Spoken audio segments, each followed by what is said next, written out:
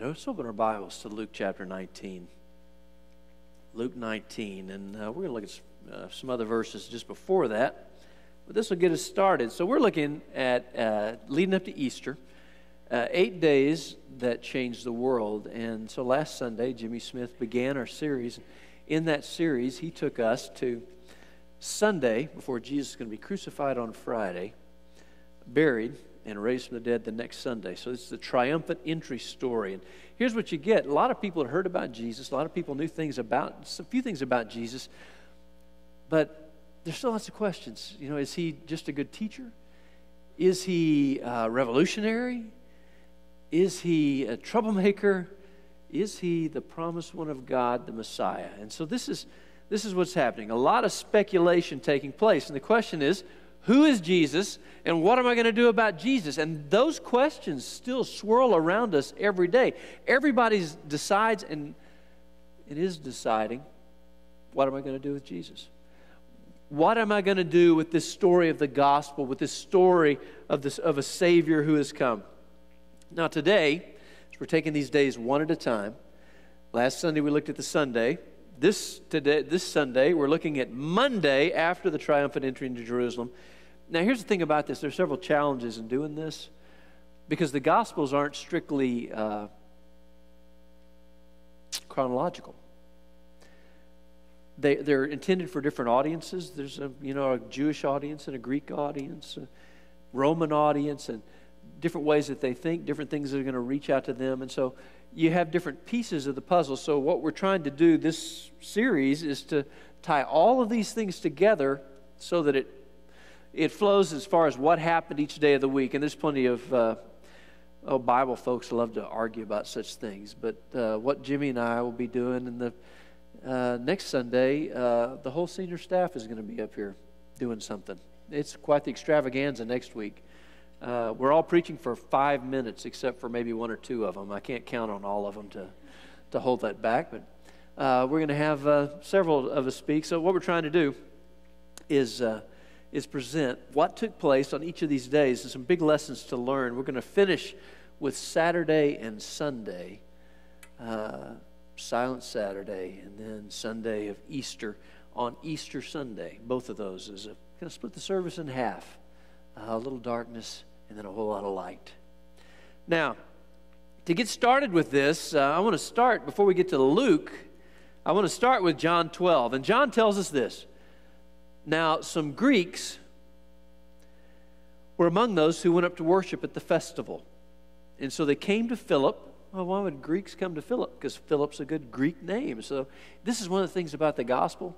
You never know what it is about you that's going to be a connection point to somebody else. There's something about you that you're the first person somebody's going to talk to about Jesus. For Philip, just his name drew them in. Philip was from Bethsaida in Galilee and requested of him, Sir, my favorite sentences in the Bible Sir, we want to see Jesus. We just want to see Jesus. Philip went and told Andrew, then Andrew and Philip went and told Jesus. So these Greeks, they're God-fearers, and they had come to Jesus seeking something for spiritually starved souls. And the reason they're spiritually starved souls is because their, their cultural religion has failed them. Uh, their own land has failed them. The gods of the Greeks have failed them. And they come up wanting and they're looking somewhere else. And so now they're trying, well, let's try the God of Abraham and Moses and the prophets. Let's try this God and see. And we find these kind of seekers coming to the temple. We have the story in Acts of the Ethiopian official who comes, and he's the same kind of guy. He's, his own religion, his own culture, his own country has failed him spiritually. And he is looking for something that is truth, something that is transcendent, something that is glorious and of God. Well, they've tried the God of uh, Abraham and Moses and the prophets, and still spiritual famine. Now, the Greeks, culturally, they are seeking people they seek after truth. They seek after uh, new ideas. They're open to knowledge. And a lot of our American mindset culturally is tied to a Greek way of thinking about the world, a, a Greek worldview. so we do a lot of this in our own culture. We're seekers, we search for answers to questions. And even today, that's going to cause us, and you're in this building, you're going to catch it. People that we, in our visits out in the community, uh, we've been doing a lot of knocking on doors for the last couple of years. We found a lot of these spiritual conversations in play. People really want to see Jesus. And uh, when uh, Randy Bridges and I had a conversation, he was designing the stained glass window. I said, "You know, what, really, in a simple way to do this, I, I just want, I just want a path that leads to the cross, because life is a path. But at some point on that path, everybody's confronted with what am I going to do with Jesus? What am I going to do with the cross of Christ? What am I going to do with the Savior? And we're all going to come to that spot. So that's that's uh, that's what that symbol is about. May we see Jesus. Now, a lot of folks are looking for Jesus, and uh, materialism, the it's all about me culture we live in, it's come up wanting for a lot of folks. And a lot of things that are just religious stuff for the sake of religious stuff, in whatever background somebody's coming from, uh, it, it leaves people feeling empty and at some point, everybody gets to a spot to say, We wish to see Jesus. Okay, so how had these Greeks come to know about Jesus? Well, everybody's talking about him. He's the talk of the town. This is a big feast day. Everybody is, is, is excited about the feast day, but they're excited because they've heard stories about Jesus who heals the sick, Jesus who performs multiple miracles, Jesus who is this great teacher.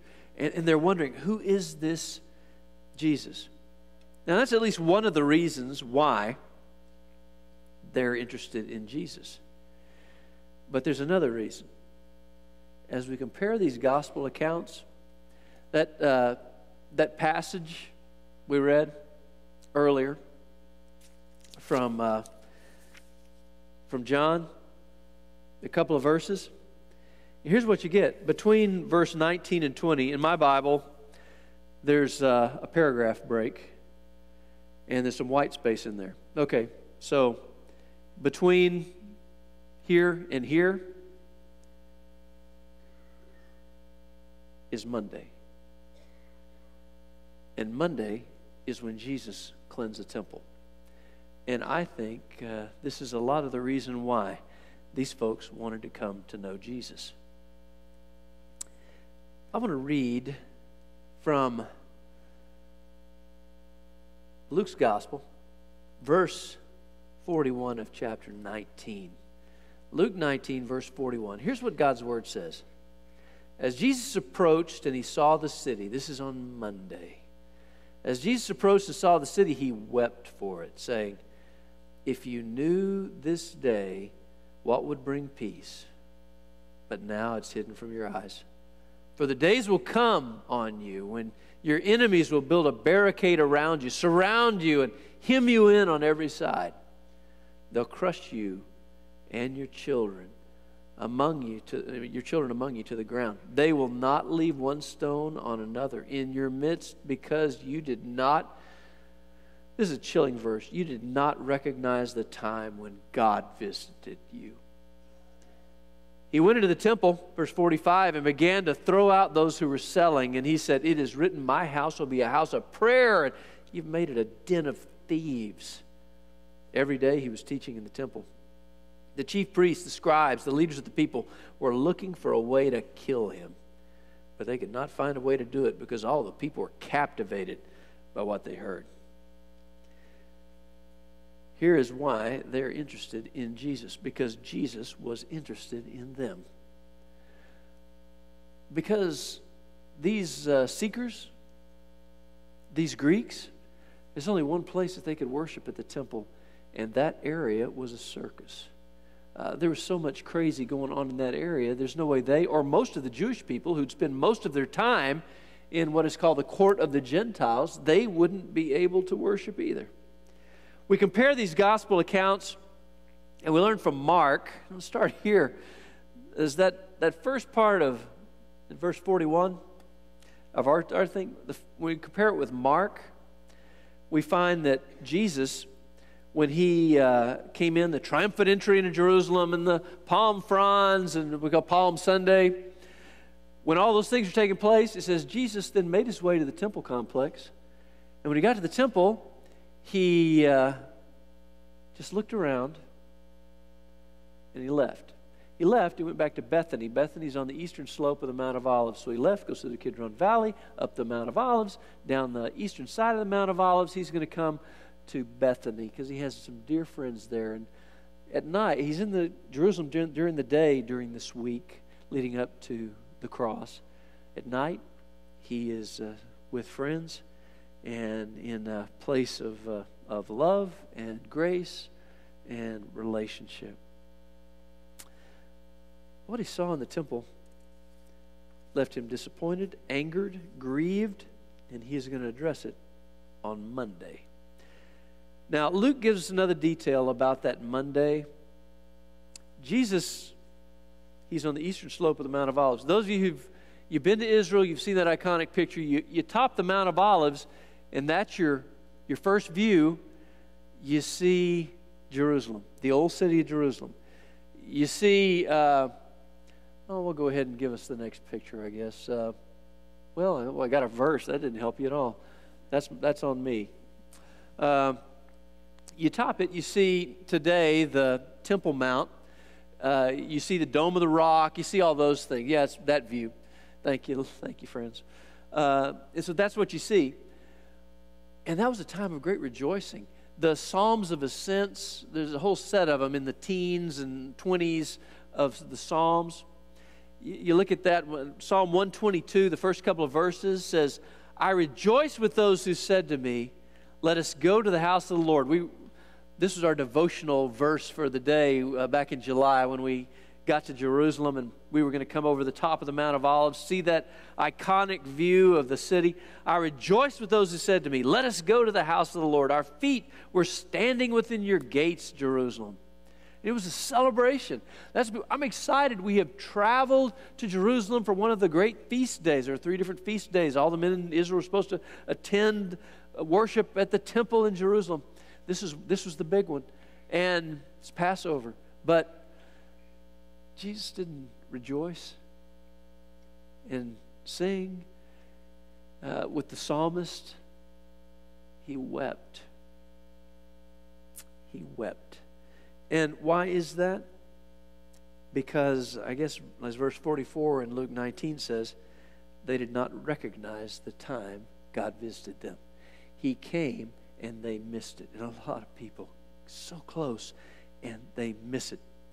Now, that picture from Jesus' perspective, the Mount of Olives today, and uh, now, now we can go back to that. Back to thank you.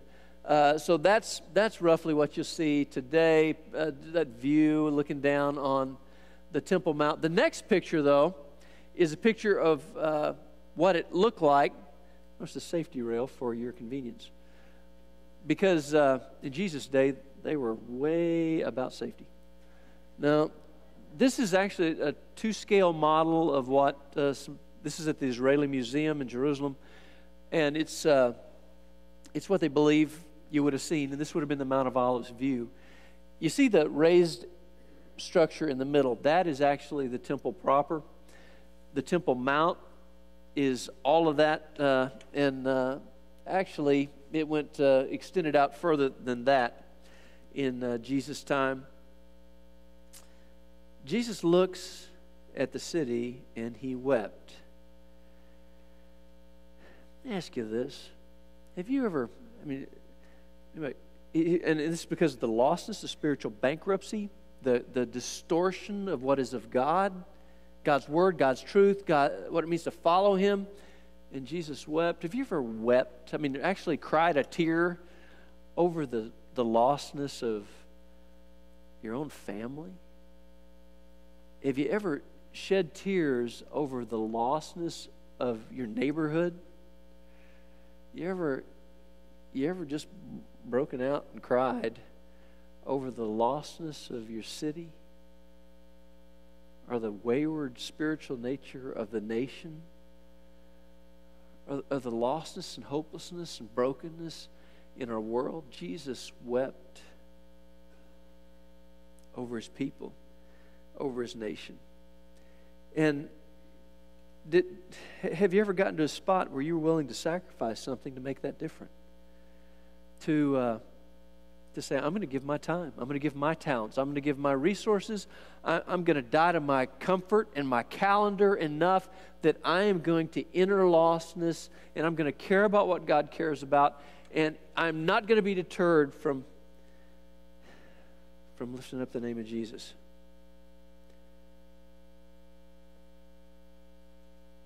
There are a lot of people who have not recognized that God in Jesus Christ has visited them. Now, when you look at that, that picture, the, the temple itself, the building itself, was not really that big. In fact, and I could give you a lot of numbers, but numbers don't help, so I'll give you some perspectives. Uh, the actual building, the, the temple complex proper, that thing that sits in the middle there that is different than the plaza around it, would fit in the infield of a, a baseball stadium. So that's the size we're talking about. It's not an enormous, enormous structure.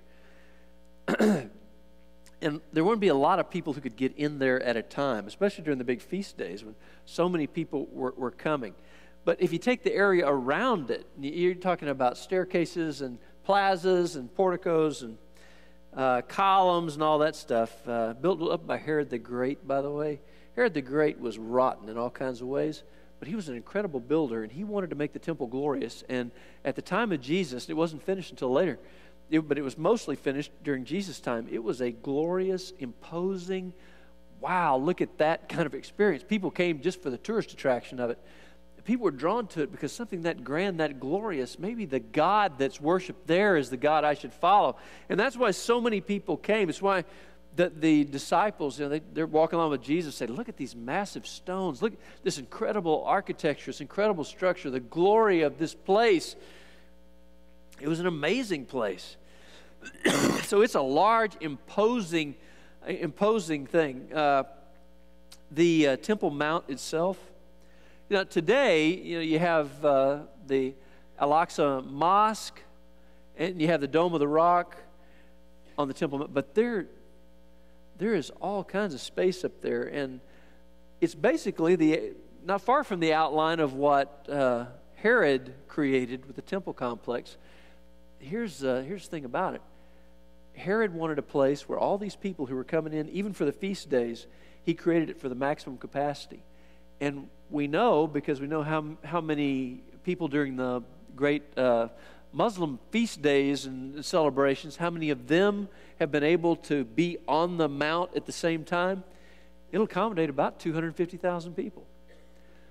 That, that's shoulder to shoulder, that's a crowd, but that's what Herod had created for this time. This was an amazing, amazingly large structure. Say roughly, uh, we'd say 10 football fields of space. That temple, somewhere, and uh, again, we don't, we don't have pictures, we don't have uh, all the records, but that the height of it, that what Herod built, uh, 10 to 16 stories high, it stood out. It was, uh, it was an amazing bit of construction. What else archaeologists have found is that there are about 50 ritual baths. These are large, uh, large areas where you had to be ritually cleansed, and it was part of representing your spiritual cleansing and preparation to go into this special place of worship. So the Jewish men, they'd pass through these ritual baths, and we've uncovered a lot of them. And you go through the bath, and then you put on your white robe, and now you're ready to go into the temple complex because you don't enter into the presence of God lightly. And th- that, that theme comes over and over and over again uh, right at us. You don't enter into worship lightly, casually, uh, carelessly. Well, they're going to have go through the ritual baths. They're going to be outwardly clean as they are preparing their hearts spiritually. Then uh, Bible scholars give us the southern steps. These were unearthed uh, years ago now. The southern steps on the southern entrance, and archaeologists believe this is where the poor people came into the temple complex. Uh, everybody didn't enter anywhere they wanted to. If you went into the temple complex, poor people came through here. The southern steps are really an interesting spot. If you look uh, up at the top of the steps, you see where it doesn't seem to match. You see lots of some different color, and then there's just solid. That's because that entrance has been bricked up. Because now, if you if you uh, if you came up at that spot, you'd come up underneath the Al Aqsa ma- uh, Mosque, and so that's why it is walled up. Uh, that's the, the mosque is right up on top of that wall, that corner of the of the uh, temple complex. What's amazing about the steps you know, steps for safety, they're, they're uniform, so you know what to expect. So you, you, you go down your steps, you know what to expect. Uh, going up, you, it's simple, and you can just trot up your steps, and you're all, you're all set. And a safety thing, that's why we do steps the way we do steps. And there's certain length that's a normal step, and so it keeps you people safe and blah. Well, these steps, and by the way, some of these have been restored, and you get there, you can see these have been restored but many of them are original. It's not often when you're in Israel that you say, Jesus actually walked up these steps, that you step where Jesus stepped. This is one of those precious places. But here's the thing about the, the southern steps there'll be one step that is this wide, and the next step is this wide. And so not only are you not just step, step, step, you take a step, and then you can't even you're not going to step like that. You have to take a half step and then take the next step. The idea is you're entering into the worship of Almighty God. You're about to go into the temple. You need to think about every step you're taking. You do not take these steps lightly, carelessly, casually, thoughtlessly. You want to be careful about your steps as you're stepping toward the Lord. And so you have the ritual baths, you have the steps leading up. And, and here's what happens when you get to the top of the steps, you, uh, you're coming up underneath that big platform and you emerge from below onto the Temple Mount. And when you come up from the southern steps, there is laid out this glorious, beautiful, amazing, and holy uh, temple. And Jesus, when he came up those steps, and emerged onto the temple platform, he is offended by everything he sees. And he is angry about everything he sees. And that results in the cleansing of the temple. He is, on the, he is in what is called the court of the Gentiles when he comes out. That's where most of the people, Jews and Gentiles, are going to be. For most of the time, they're on the Temple Mount. Because again, the temple itself is very small. So this is where he's coming out, and he is offended by what he sees in the court of the Gentiles. And so, uh, we're going to we're gonna talk about why he was offended. And to do that, I need to give you a little bit of perspective. And so we have some volunteers that we actually recruited and manipulated and threatened, and they're going to help us uh, by uh, suiting up. So when you look at the temple complex, so some of you have seen these charts before, there, are, there are layers of access.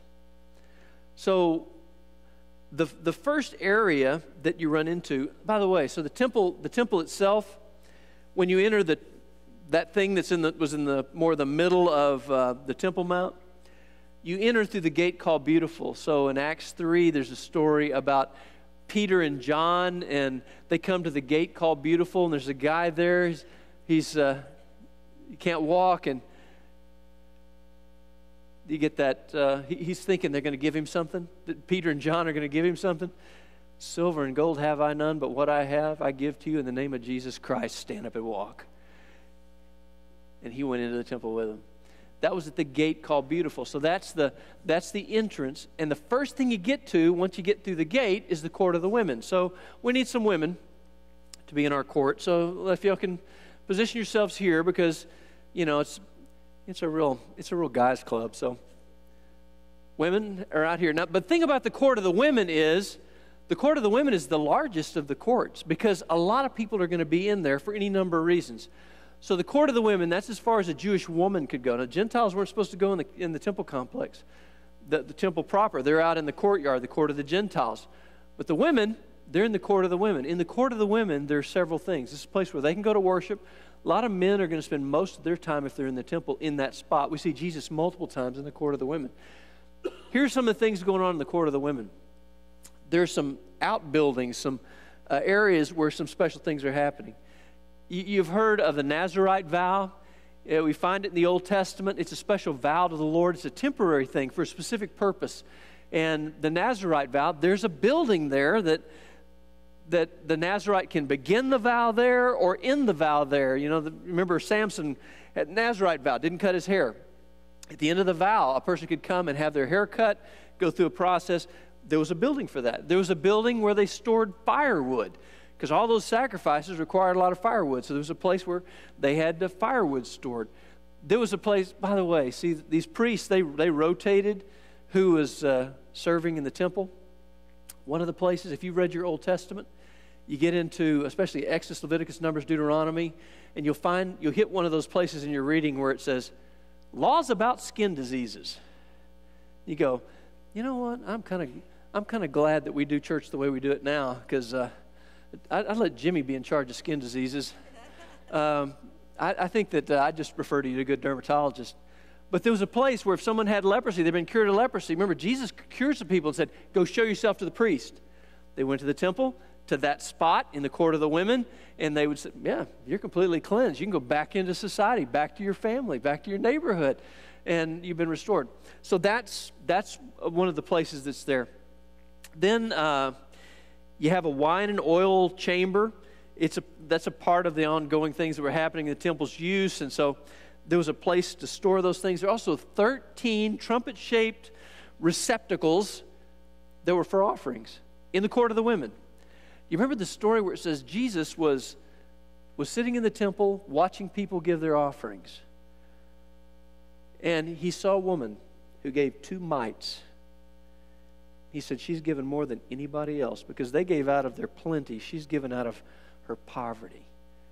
Jesus was sitting in the court of the women when he saw the widow give her mites to the Lord. And uh, so this is there's a lot of things going on in the court of the women. Now, uh,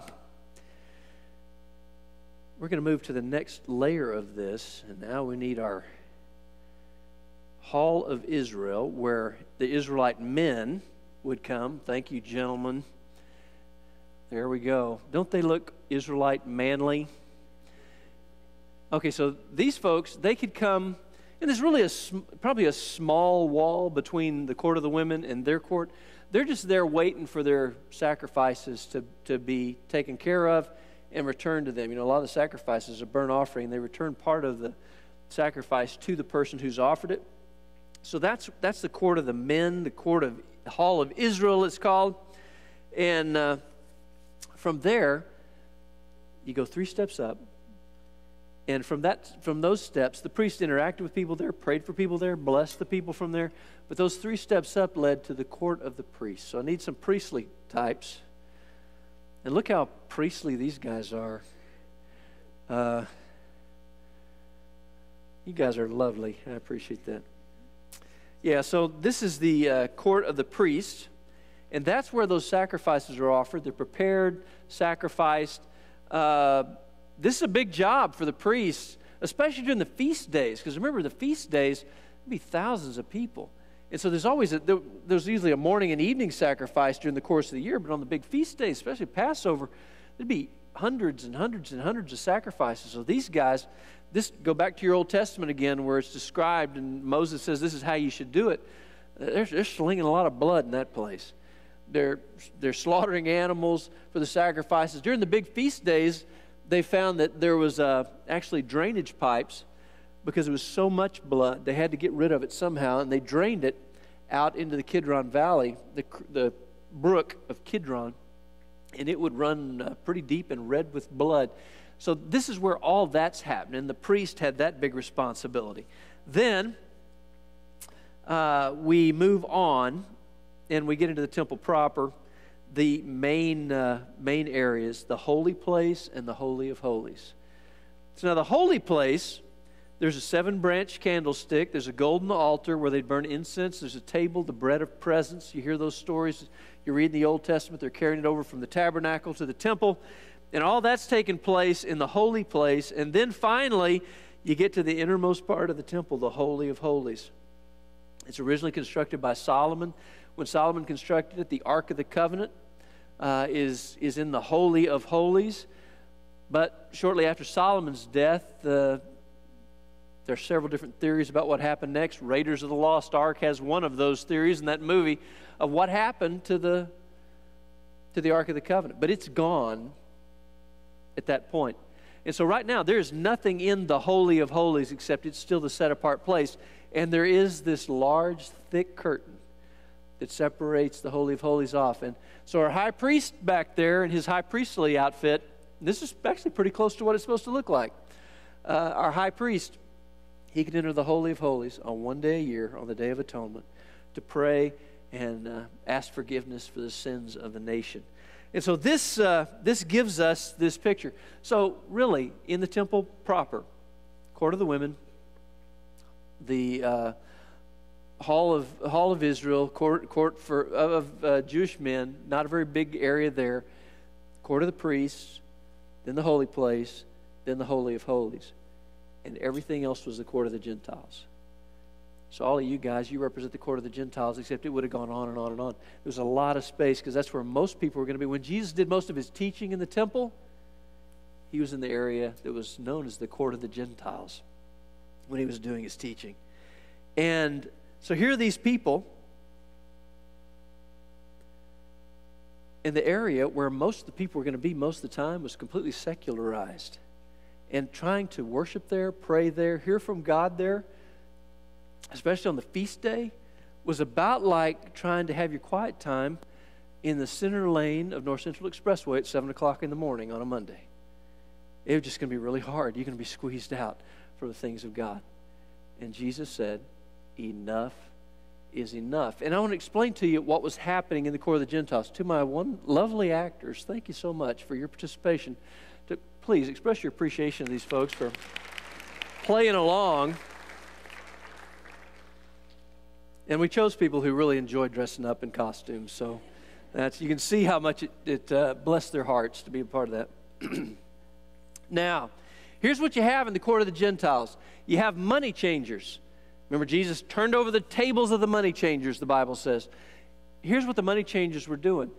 If you for all for Jewish, Jewish men coming to the temple to worship, you had to pay the, the temple tax when you came. It had to be paid in the shekel of the temple. It was a special coinage, and that was all it was used for, was the temple tax. So if you're coming to Jerusalem for one of the feast days, one of the three big feast days, especially Passover, you, uh, you could get a hotel room, you could get a place to stay, you could use Phoenician coins, Egyptian coins, Greek coins, Roman coins. But if you're going to pay your temple tax, you had to have the temple of the treasury.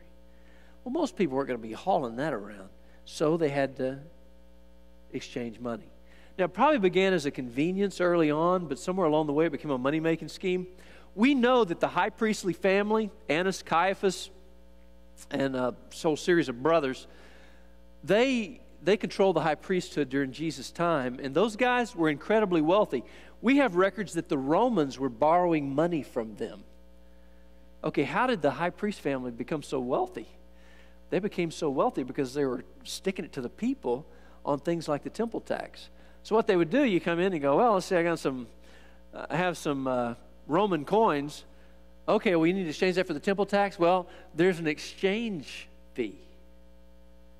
Okay, well, I got to do it. So they pay the exchange fee. Oh, you didn't have exact change? There's another fee for that. Most everybody was paying both fees, and people who were coming to worship the Lord, come to do what God said to do, are being taken advantage of. In the court of the Gentiles, animal sacrifices are a big part of what's taking place. It's just a reminder of the, the depth of sin. Again, if you read it in the Old Testament, you're going to see these examples where a family brings their animal and they lay their hands on it. Sometimes you see priests laying their, I just read the, the section in Numbers where the priests are, uh, the priestly family, Aaron and his sons, are being dedicated to the Lord. And it says, tell them to place their hands on the animal. They cut the animal's throat and it would die, and they would feel there is a price to be paid for sin. The wages of sin is death. And it was a tangible expression of that. So these animal sacrifices are taking place. These folks would bring their animals from home. Okay, I, mean, I got my show lamb, uh, good for the stock show, good for the temple. It's in great shape. It's a beautiful animal. Bring my lamb, bring my calf, bring for the poor uh, uh, pigeons or uh, doves. We find Mary and Joseph when they dedicated Jesus, that's what they brought because they were among the poor people. You bring your sacrifices to the temple, and the priest would have to evaluate it. Last week in my Bible reading, I read the book of Malachi. Malachi is a book on worship in the Old Testament. Last book in the Old Testament. It's a great study of what worship is. Malachi goes after the people in, in that time, what, 4th century BC, and he says, you, You're bringing your sick and your lame and your, your, your disease. You're bringing, you're bringing your junk to God, animals that you don't want anymore. You're supposed to bring your best. It's supposed to be an unblemished animal, the perfect animal. So they'd have to come with their animal from home, be a great animal, and the priest would have to inspect it. And the priest routinely said, doesn't quite pass uh, inspection. This, this animal has some flaws. I wish you could. I tell you what, you came all this way. We'll do you a favor. We have some temple approved animals over here in this pen. We'd be glad to trade out your inferior animal for one of our temple approved animals. You pay, you pay for the difference because I mean ours are obviously better and approved. And so the people, well, you know, what, what else am I going to do? I can't argue with the priest over this. I can't, this isn't up for negotiation. So they bring their animal and pay their fee. Again, that goes into the pocket of the high priestly family. And then they, and uh, we'll, we'll take your animal off your hands. I mean, you've traded it in, you paid the fee. And they take, we've, we've, historical record says it was routine. They would take the inferior animal, put it back in the same pen, and later in the day they'd sell it to somebody else as one of the approved animals. It's just a scam going on, and it's a circus, and all this is taking place in all these areas that are dedicated to the worship of God for most of the Jewish people and all of the Gentile people who would come to this place to worship. It's just a conspiracy. And this is just traffic. So, Mark's gospel tells us that Jesus wasn't allowing anyone to carry goods through the temple. So that's one of the things that happened on the cleansing of the temple. He said, You can't just be hauling stuff through here. And what that was about is the temple complex, because it's right there on the edge, the eastern edge of Jerusalem. You're going into the Kidron Valley, you're going up to the east to the Mount of Olives. Over the top of Mount of Olives, whole series of villages, lots going on on the Mount of Olives. And people just, you know, I could go the long way around this big old temple complex, or I could just cut through the court of the Gentiles, and I'm just about there. And so they were using the temple as a shortcut to get to the eastern side of uh, Jerusalem and onto the Mount of Olives. And where people were, were wanting to pray, focus on God, hear from God, experience God, they were in the middle of a highway. And Jesus said, This cannot be. And so all this just enraged Jesus. And he saw these pilgrims coming to the Passover and he just couldn't allow this foolishness to continue. People were seeking God and they were being kept from worshiping the one true God. And the, the other part that was that, that's sad about the whole story is the people that were entrusted with caring for this temple, they, they had lost a sense of the presence of God. Not only were they enc- not encouraging others into a spiritual encounter with Almighty God, Creator, Redeemer, Friend, but they're keeping them from it. They didn't expect to meet God. They didn't desire to meet God. So they were just doing the religious stuff. You know, check the religious box. Okay, came to the temple, brought my sacrifice, paid my fees, all done. I'm good till next time. For a lot of people, uh, worship is just checking the box. Took care of that, did that, didn't expect anything, didn't desire anything from God you know, religious consumerism in this case was a driving force. And not to, it's a sad part, it was not, I'm going to love the Lord my God with all my heart, with all my soul, with all my mind, with all my strength. That wasn't anybody's radar. It was all, all the lesser things. And Jesus said, This cannot be. So here's my concern. This is in your program in the introduction. Uh, when, when you think about worship, loving the Lord with all your heart, soul, mind, and strength. A lot of you, like me, you've been going to church for a long time. You've been showing up and doing your thing. But it's so easy to get to a spot where we're just yawning at the things of God, at, the presence and power and glory of Almighty God. We just, eh, whatever. You know, when you think about your relationship to God, is, is that relationship, and this can happen in a, in a long run, it can happen in a season of life where a relationship to God just becomes something that's casual, comfortable, convenient, maybe just an opportunity to practice criticism, carelessness. This event, according to Luke, according to the Gospels as a whole, this is the catalyst that led Jesus' enemies to say, We are going to kill him. And Jesus knew that everything he did on Monday of that Holy Week was going to lead to the cross.